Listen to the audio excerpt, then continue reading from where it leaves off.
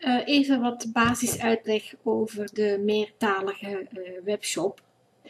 Dus ehm, zoals je kunt zien, ehm, als we nu eh, binnenkomen, dus dan is dat in mijn testsite gewoon demo shop, dan staat alles nu in de Franse taal.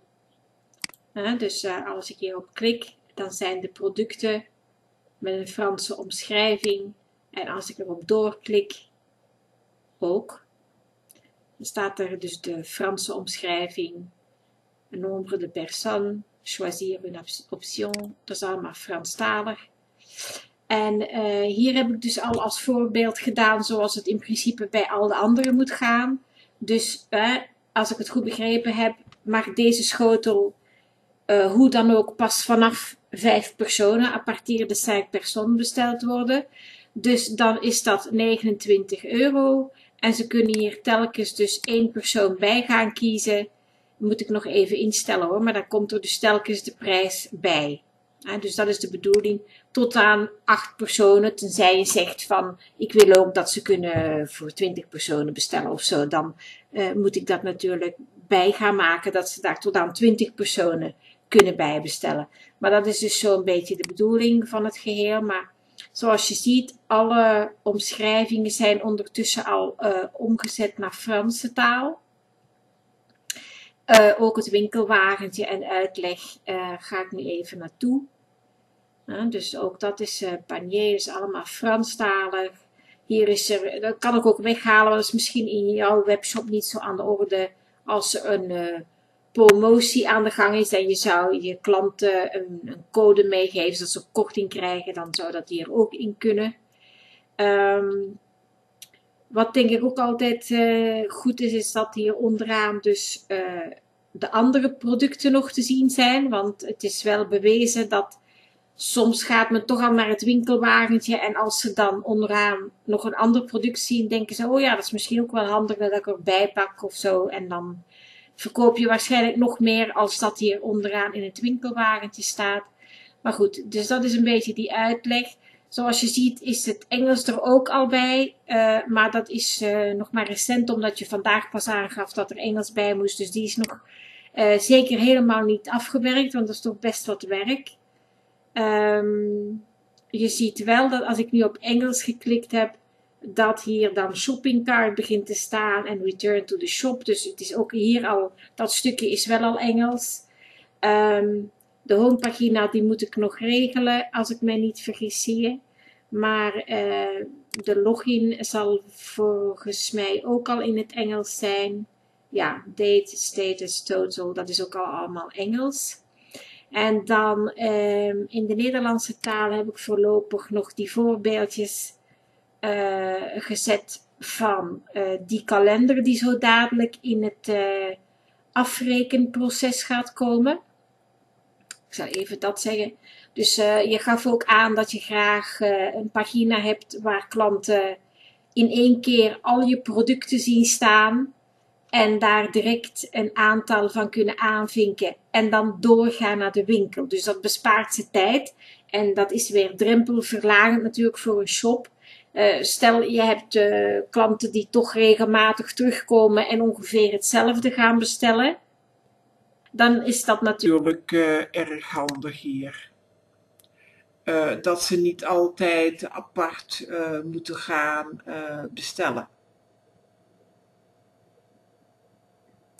Um, ja, want anders, um, ten opzichte van dat, dit is het voordeel Kijk, als ze uh, via de gewone pagina gaan, dan hebben ze ook wel dat overzicht. Maar ze kunnen niet direct zeggen van, uh, ja, doe er hier tien van en ze gaan direct naar het winkelwagentje. Dan krijg je dus dat ze eerst even hier moeten opklikken. Dan gaan ze naar die uh, productpagina die alleen van dat artikeltje gaat. Kunnen ze hier wel kiezen hè, hoeveel ze er bijvoorbeeld van willen. En toevoegen aan het winkelwagentje. Maar dat is dus iets meer time consuming eer dat ze in dat winkelwagentje zitten. Uh, en uh, die snelbestellenpagina die uh, gaat dus maken dat dat direct in één keer goed gaat. Ik zal ook eens even die kalender, ik heb daar al een eenvoudige versie van geïnstalleerd. Maar het wacht nog even op vertaling en dan zul je zien dat dat nog uitgebreider wordt. Dus ik heb hier al eens even mijn uh, klantgegevens zo gezegd als test ingevuld. En dan zie je hier onderaan, hè, dat is als de klant gaat afrekenen. Um, die kan ook zeggen, uh, moet het verzonden worden naar een ander adres. En dan kan hier dus een ander adres in komen. De klant heeft hier ook nog de optie om uh, een bepaalde opmerking naar de, de winkelier te doen als dat zou nodig zijn. Maar hier dus kan die klant, dat moet dus nog vertaald worden, uh, zijn datum pikken. Dus de, data's die al voorbij zijn of niet beschikbaar zijn, die staan daar gewoon niet. Die kan die niet aanvinken. Dus stel ik kies voor de 18e, hè, dus uh, dan komt dat ook in de order, in de mail naar de webshop-eigenaar ga je dat natuurlijk ook in je e-mail krijgen wanneer dat die klant dat verwacht. Maar in die uitgebreidere versie die ik dus nog ga integreren als je wil doorgaan met de opdracht, uh, dan kan de klant hier dus niet alleen maar een datum uh, aanvinken, maar dan krijgt hij ook, uh, even kijken hoor, hier heb ik daar een screenshotje van, want hij is nog niet werkt, echt werkzaam. Zie je, dan kan die dus niet alleen die datum hier uithalen, maar dan kan die ook een tijdspanne, dus stel dat hij wil dat het tussen 1 uur en half 2 geleverd wordt aan huis, dan kan die dat hier aangeven. En aan, aan de binnenkant zeg maar, van de webshop zelf kan ingesteld worden welke tijden jij eigenlijk überhaupt ter beschikking wil stellen dat een klant kan bestellen. Hè? Dat hij niet kan zeggen bijvoorbeeld, ik wil dat nog om 11 uur s'avonds geleverd krijgen terwijl jij dan niet meer werkt. Dus dan kunnen wij instellen dat ook hier in de tijdopties alleen tijden komen dat jij nog zegt van dat wil ik ook echt, in die tijden gaan wij echt nog wel leveren. Dus dat zijn daar de, in die uh, gaan ook nog opties zitten, dus dat uh, stel het is toch een speciale levertijd, stel je maakt voor iemand een uitzondering en je zegt van nou ik zal voor, voor jou toch op een zondag leveren, dan kan in, hier ook nog een keer ingesteld worden dat er dan, omdat het een zondag is, exceptioneel extra kosten bij komen bijvoorbeeld. Dat kan ook nog. Dus dat is die uitleg. Dus klanten kunnen natuurlijk hier in deze, dit geval ook gaan inloggen. Dus dan kunnen ze, ik ben nu ingelogd als test, hè, maar dan uh, krijg je hier dus een voorbeeldje dat de klant zich kan registreren. En dan kan die hier dus ook, als je dat zou willen, maar als jij niet met facturen gaat werken, dan ga ik die optie daaruit halen. Maar dan kan die dus ook zijn factuur gaan bekijken. Kijk, uh, dan wordt die opgeslagen op uh, de computer. En dan uh, kan ik die, hier is de factuur. Dan kun je die factuur zo gaan bekijken.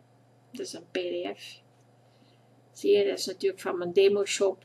Maar ik denk dat dat uh, dus voor jou niet aan de orde gaat zijn, omdat je niet op die manier met facturen automatisch gaat werken. Dus dat is maar als een voorbeeldje.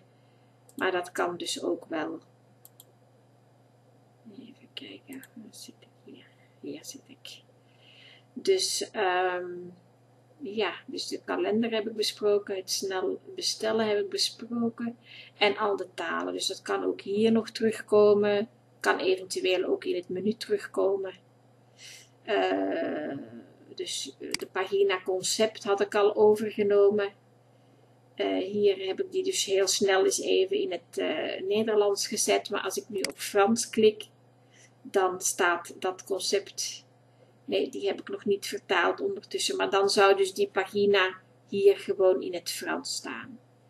Dus um, ja, dat is zo'n beetje, denk ik, alles uh, mondeling wat uitgelegd. Dat het misschien iets duidelijker wordt wat ik allemaal bedoel.